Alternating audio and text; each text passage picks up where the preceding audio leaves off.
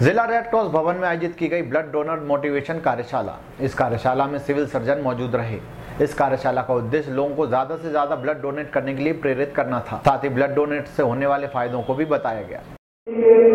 मस्जिद की नमाज़ छोड़कर रोजों में आए हैं यदि रोजों में गए तो हम मस्जिद शामिल कर हो जाती है लेकिन उस बच्ची की जान बचाने के लिए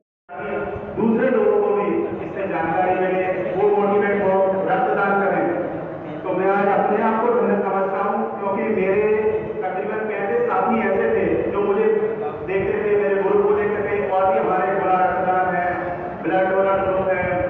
अ, और भी अन्य कई लोग जैसे आई है तरह तरह के ग्रुप सभी लोगों की मदद करने के लिए आगे आते हैं रात के तकरीबन सात रोज